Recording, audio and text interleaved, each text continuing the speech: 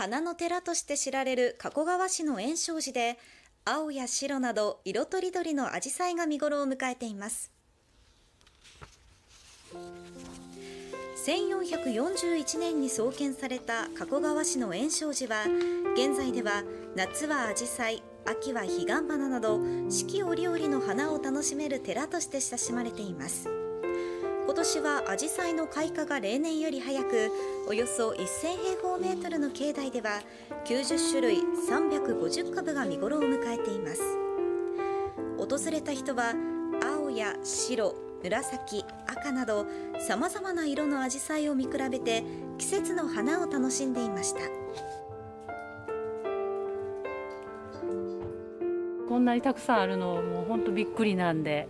遠くに行かなくても近くでいっぱいたくさんの紫陽花を見れて本当幸せです。